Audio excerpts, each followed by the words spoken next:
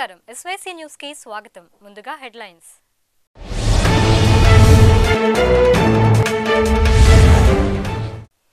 మార్చి మూడవ తేదీ నుండి అగ్రిగోల్డ్ బాధితుల నిరవధిక దీక్ష. ఆస్తులను విక్రయించి బాధితులకు డిపాజిట్ చెల్లించాలని డిమాండ్. మేనిఫెస్టోలో కాపులకిచ్చిన హామీలను వెంటనే అమలు చేయాలి. డిమాండ్ చేసిన కాపు జేఎస్సీ నాయకులు. మండలంలోని ఓపులేసినిపల్లె గ్రామం వద్ద కూలీల ఆటో బోల్తా పడి ఓ మహిళ కూలీ మృతి చెందగా మరికొంతమందికి తీవ్ర గాయాలయ్యాయి. ఈ సంఘటన బుధవారం రాత్రి ఏడు గంటలకు జరిగింది. ఓపులేసినిపల్లె గ్రామానికి చెందిన సుమారు పది మంది కూలీలు ఆటోలో అడిగొప్పల గ్రామ సమీపాన ఉన్న ముర్చి పొలంలో కూలి పనులకు వెళ్ళి వస్తున్నారు. మార్గ మధ్యలోని బళ్ళారి కుంట వద్దకు ఆటో రాగానే అదుపు తప్పి బోల్తా పడింది. ఈ సంఘటనలో కాటారు లక్ష్మమ్మ అక్కడికక్కడే మృతి చెందగా భర్త గోవిందరాజులకు తీవ్ర గాయాలయ్యాయి. అదేవిధంగా మరికొంతమంది కూలీలకు తీవ్ర గాయాలు కావడంతో మాచెల్ల పిడుగురాళ్ళ నరసరావుపేట వైద్యశాలలకు తరలించారు. రానున్న శాసనసభ సమావేశాల దృష్ట్యా వచ్చే నెల మూడవ తేదీ నుండి విజయవాడలో అగ్రిగోల్డ్ బాధితుల నిరవధిక దీక్షలు చేపట్టనున్నట్లు AgriGold customers agents welfare association రాష్ట్ర గౌరవ అధ్యక్షుడు ముప్పాళ్ళ నాగేశ్వరరావు తెలిపారు. కొత్తపేట మల్లయ్యలింగం భవన్లో శనివారం జరిగిన విలేకరుల సమావేశంలో ఆయన మాట్లాడుతూ గత రెండేళ్ళుగా అనేక ఆందోళనలు నిర్వహించినా ప్రభుత్వ పరంగా బాధితులకు ఒరిగిందేమీ లేదని ఎద్దేవా చేశారు. ఒకవైపు న్యాయ పోరాటం చేస్తూనే మరోవైపు బాధితుల పక్షాన పలుమార్లు ముఖ్యమంత్రిని కలిసి గోడు విన్నవించినా ఫలితం శూన్యమేనని మండిపడ్డారు. రాష్ట్ర అధ్యక్షులు బి. విశ్వనాథ్ రెడ్డి మాట్లాడుతూ ఇప్పటికే నూట మూడు మంది బాధితులు ఆత్మహత్యలకు పాల్పడ్డారని ఆవేదన వ్యక్తం చేశారు. దీని దృష్ట్యా తీవ్ర పోరాటాలకు సిద్ధమవుతున్నామని ఆయన అన్నారు. రాష్ట్ర ప్రధాన కార్యదర్శి వి. తిరుపతిరావు మాట్లాడుతూ బాధితులకు న్యాయం చేయడంలో ప్రభుత్వం దాటవేత ధోరణిని అవలంబిస్తోందన్నారు. బాధితుల ఆత్మహత్యలు ప్రభుత్వ హత్యలుగా భావిస్తున్నామన్నారు. సత్వరమే ఆస్తులు విక్రయించి బాధితులకు డిపాజిట్లు చెల్లించాలని ఆయన డిమాండ్ చేశారు. ఉప ప్రధాన కార్యదర్శి చంద్రశేఖరరావు కార్యనిర్వాహక అధ్యక్షుడు ఈవి నాయుడు సిపిఐ జిల్లా కార్యదర్శి జంగాల అజయ్ కుమార్ సమావేశంలో మాట్లాడారు. బోర్డు తిప్పి రెండు సంవత్సరాలు దాటింది. అన్ని అవకాశాలు ఉండి మోసపూరితమైన కుట్రతో సంస్థ యాజమాన్యం వేల కోట్ల రూపాయలని బినామీల పేర్లతో కుటుంబ సభ్యుల పేర్లతో అనుచరుల పేర్లతో దారి మళ్ళించింది. సుమారు ఏడు వందల కోట్ల తాలూకు చెక్స్ బౌన్స్ అయినాయి. బ్యాంకుకి ఐదు వందల కోట్ల రూపాయలు రీపే చేయాల్సి ఉంది.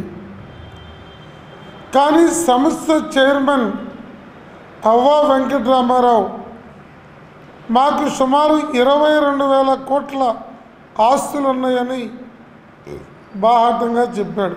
విషయాన్ని మీరందరూ గమనించాలి. మరి ఏదైతే కోర్టు ఆదేశాల మేరకు ఏవైతే వివాదం లేని ప్రాపర్టీస్ వేలంకి పెట్టమని కోరడం జరిగింది అందులో కేసర్ ప్రాజెక్ట్ కూడా మూడు వందల నలభై ఎకరాలు వేలంకి పెట్టామని చెప్పడం జరిగింది. కానీ అది విషయానికి వచ్చేసరికి ఎటువంటి వేలం జరగలేదు. మరి దీంతో మా బాధితులందరూ కూడా తీవ్రమైన నిరుత్సాహంగా చాలా దివాలుగా ఉన్నారు. మరి వీళ్ళందరూ కూడా ఏకం చేసి రేపు ప ఆరో తేదీని జరగబోయే నిరవధిక నిరాహార దీక్షలో వేల సంఖ్యలో పాల్గొని ప్రభుత్వం యొక్క ఆలోచనని మార్చమని కోరుతూ ఉన్నాము. మరి ఈ యొక్క నిరవధిక నిరాహార దీక్షకి రాష్ట్ర నలుమూలల నుంచే కాకుండా ఇతర రాష్ట్రాల నుంచి కూడా బాధితులు వచ్చి సంఘీభావం తెలుపుతూ మరి ఈ యొక్క ప్రభుత్వ ఆలోచనని మార్చేటట్లుగా చేయడానికి మేము అందరం కంకణం కట్టుకున్నామని తెలియజేస్తూ ఉన్నాం. గోల్డ్ బాధితుల యొక్క ఉద్యమం వివిధ రూపాల్లో ఇప్పటికే నిర్వహించడం అనేది జరిగింది. రాష్ట్ర వ్యాప్తంగా అన్ని కలెక్టర్ కార్యాలయాల దగ్గర గ్రామ గ్రామాన పట్టణాల్లో నియోజకవర్గ స్థాయిలో రాష్ట్ర స్థాయిలో కూడా భారీ ప్రదర్శన ధర్నాలు కూడా నిర్వహించాం. అంతిమంగా విజయవాడలో ఆరో తేదీన నిరవధిక నిరాహార దీక్ష కార్యక్రమాన్ని చేపట్టడం జరిగింది. అగ్రిగోల్డ్ బాధితులకి రాష్ట్ర వ్యాప్తంగా అన్ని పార్టీలు ప్రజా సంఘాలు మద్దతునిచ్చి వారి ఉద్యమం జయప్రదం అవ్వటం ద్వారా ఆత్మహత్యల బారి నుంచి అగ్రిగోల్డ్ బాధితులను రక్షించడం కోసం అందరూ కలిసికట్టుగా ముందుకు రావాలని విజ్ఞప్తి చేస్తా ఉన్నాం. టీడీపీ ప్రభుత్వం మేనిఫెస్టోలో ఇచ్చిన హామీలను అమలు చేయడంలో విఫలమైందని కాపు జేఏసీ నాయకులు రాధ అన్నారు.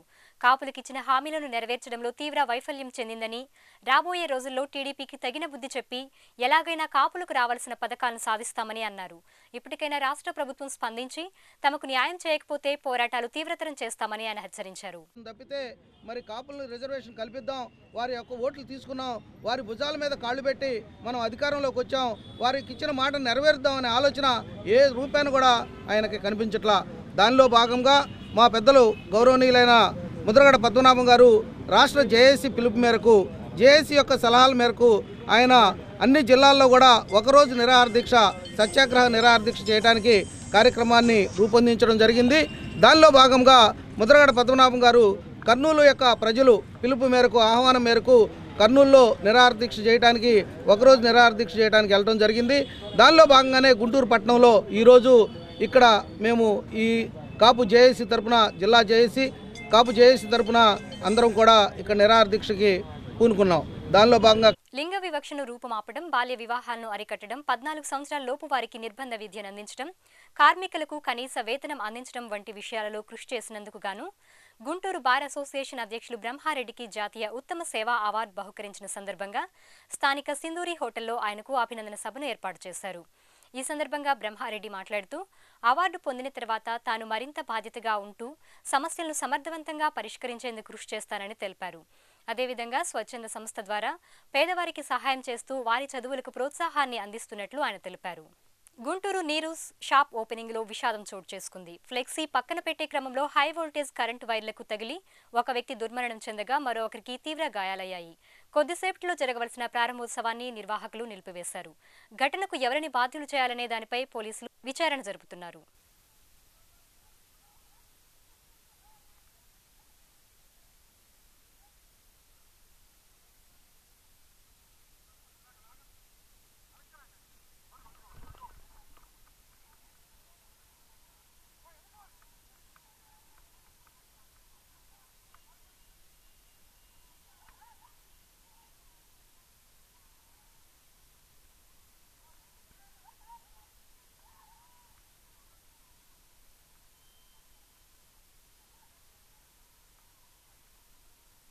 తర్వాత పోయింది ఈరోజు ఆరున్నర ప్రోగ్రాం. దానికి రెజిన్ అనే సినీ తార కూడా ఇన్వైట్ చేశారు. ఆల్రెడీ ఆల్రెడీ ఇది ఓపెన్ అయ్యింది. ఈరోజు గ్రాండ్ ఓపెనింగ్ చేయబోయే సమయంలో విండ్ కూడా బాగా ఎక్కువగా ఉంది గాలి అనేది. వాళ్ళు ఫ్లెక్సీలు వేసుకున్న వాచ్మెన్ విజయ్ అనే కుర్రోడు అతను మేనేజర్ రిపీట్ చేశాడు. ఇంకా అతని వివరాలు పూర్తిగా రాలేదు. అదేవిధంగా వీళ్ళ హెల్పర్ ఉన్నాడు సైదా అని. అతను కూడా వీళ్ళిద్దరు కలిసి ఆ ఫ్లెక్సీని మోసేటప్పుడు ఈ గాలి ఎక్కువ ఉండటం వల్ల మరి ఏమైందో ఆ హై వైర్ రీసెంట్గా మూడు నెలలు అయింది మనకి లక్ష్మీపురంలో పెట్టి లెవెన్ హైటెన్షన్ హెచ్డి వైరు దాని మీద యాక్సిడెంట్గా పడటం ఇమీడియట్గా షాక్ కొట్టి ఆ పిల్లడు అక్కడికక్కడ చనిపోయాడు విజయ్ అనే కుర్రాడు. జాన్ సైదా అనే అతను అండర్గోయింగ్ ట్రీట్మెంట్ అతను ఆరోగ్యంగానే ఉన్నాడు. ఇబ్బంది లేదు. తదుపరి ఏమైనా ఉంటే దర్యాప్తులో మేము తెలియపరుస్తాం. పశ్చిమ గోదావరి జిల్లా భీమవరం పంచారామ క్షేత్రంలో ఒకటైన శ్రీ శ్రీ శ్రీ ఉమామహేశ్వర జనార్దన స్వామి దేవస్థాన రథోత్సవం కన్నుల పండుగగా జరిగింది. ఆలయ చైర్మన్ మరియు ఆలయ కార్యనిర్వాహక అధికారి చేతుల మీదుగా రథోత్సవం ప్రారంభం చేశారు. హైదరాబాద్ గచ్చిబౌలి స్టేడియంలో ఇటీవలే జరిగిన అథ్లెటిక్ పోటీలలో మూడు మెడల్స్ సాధించిన గింజుపల్లి శ్రీరామకృష్ణయ్యకు ఆదివారం అభినందన సభ ఏర్పాటు చేశారు. కమ్మజన సేవా సమితి ఆధ్వర్యంలో జరిగిన ఈ కార్యక్రమానికి మిర్చి చైర్మన్ మన్నవ సుబ్బారావు హాజరై మెడల్స్ సాధించిన గింజుపల్లి శివరామకృష్ణయ్యను అభినందించారు.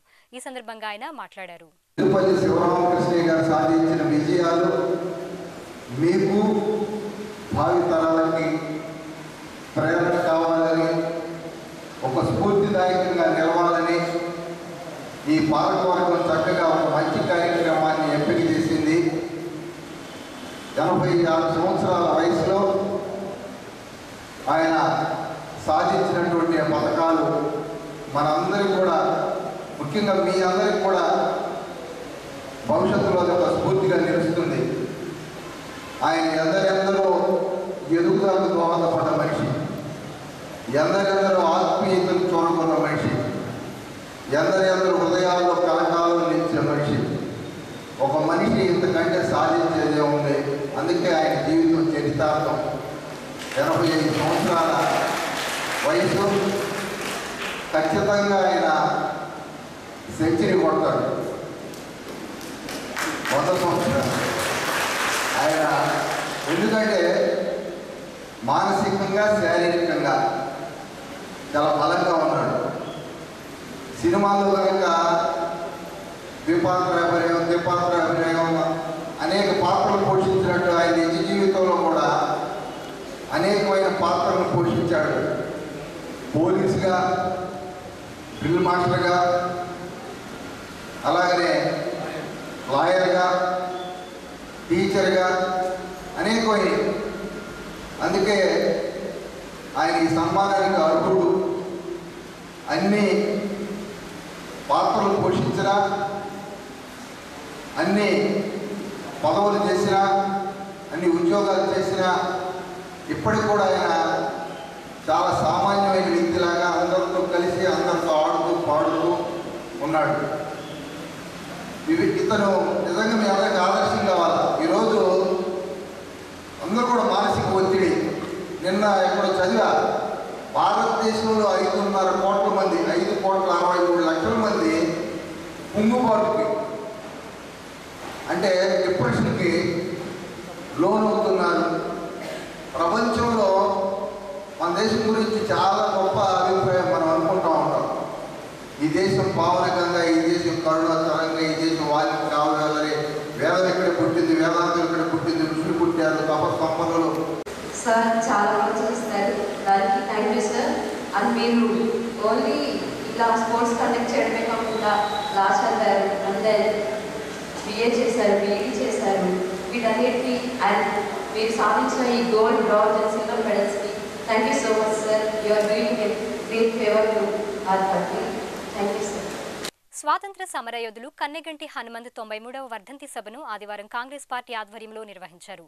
ఈ కార్యక్రమానికి కాంగ్రెస్ పార్టీ నగర అధ్యక్షులు మదా ముత్యాలరావు వెస్ట్ ఇన్ఛార్జ్ సవరం రోహిత్ తదితరులు హాజరై స్థానిక చుట్టుకుంట సెంటర్లో ఉన్న కన్నెగంటి హనుమంత్ విగ్రహానికి పూలమాలలు వేసి నివాళులర్పించారు. ప్రాంతంలో మించాలపాడు గ్రామం దుర్గి మండలంలో మరి పశుగ్రాసం కోసం కట్టెల కోసం అడవిలో ఏరుకుంటా ఉంటే ఆ రోజు వాళ్ళు దానిపై పన్ను విధించడం ఆ రోజు పన్ను మీకు ఎందుకు కట్టాలని చెప్పి పేద ప్రజల కోసం బడుగు బలహీన వర్గాల కోసం కన్నగండి హనుమంత్ గారు పెద్ద ఎత్తున ఉద్యమం చేసి బ్రిటిష్ కలెక్టర్ అనేటి అప్పటి రోదరపాటి చేతిలో మీదుగా వీరమరణం పొందడం జరిగింది. మరి ఆయన యొక్క చేసిన సేవలు మరి మేము గుర్తుపెట్టుకుంటూ కాంగ్రెస్ పార్టీ ఆధ్వర్యంలో వారి అడుగుజాడలు నడుస్తామని తెలియజేస్తూ మరొకసారి వారికి జోహార్లు అర్పిస్తూ కన్నిగంట హనుమంత్ గారికి ఘనమైనటువంటి నివాళులు అర్పిస్తూ ఉన్నాం. ఇక ఈ బులెటిన్ ఇంతటితో సమాప్తం. తిరిగి మరో బులెటిన్తో మళ్ళీ కలుద్దాం. అంతవరకు సెలవు నమస్కారం. వార్తలు మీకు సమర్పించిన వారు ఎల్ఎన్ డైరీ పాలు. రుచికి రుచి శుచికి శుచి. ఈ బులెటిన్ మళ్ళీ చూడాలనుకుంటే SYC news SYC YouTube channel నందు సబ్స్క్రైబ్ కాగలరు.